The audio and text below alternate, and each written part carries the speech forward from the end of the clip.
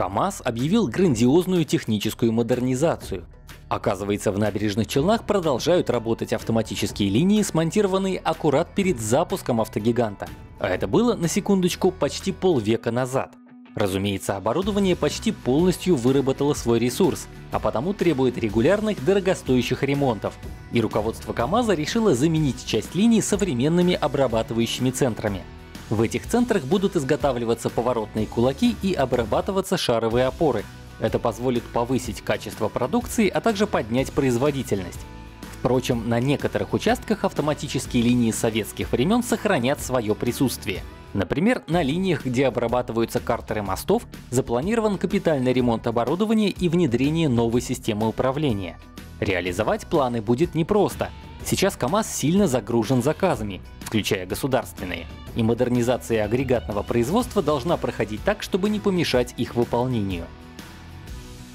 Между тем, самая востребованная модель марки КАМАЗ — это классический самосвал 65115. Правда, перевозчики предпочитают брать машины, оснащенные 7-литровыми моторами Cummins, а не прожорливыми камазовскими восьмерками. С американским движком российский грузовик получается мощным, легким, экономичным, но при том недорогим. С 2010 года агрегаты делает СП Cummins Кама, из состава которого недавно вышел собственно Cummins. Впрочем, рядная шестерка глубоко локализована. Блок цилиндров, головку блока, коленвал и маховик отливает КАМАЗ, а обработкой отливок занимается бывшая СП. Даже Porsche не поставляет отечественный производитель. А потому уход за океанского компаньона не сильно повлиял на работоспособность предприятия. Турбодизели продолжают выпускаться уже под маркой КАМАЗ. А впереди мотор ждет некая модернизация.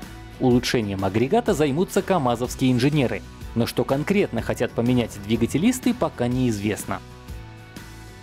Над модернизацией, но уже производства также задумывается Ульяновский автозавод.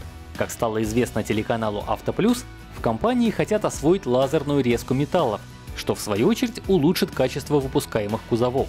Еще одна задача ближайшего времени — это установка совершенно нового оборудования для сварки бортов.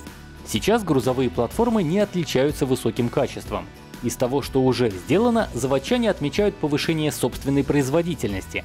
Так, на участке сварки рам были исключены 20 лишних операций, что повысило выработку сразу на 43%.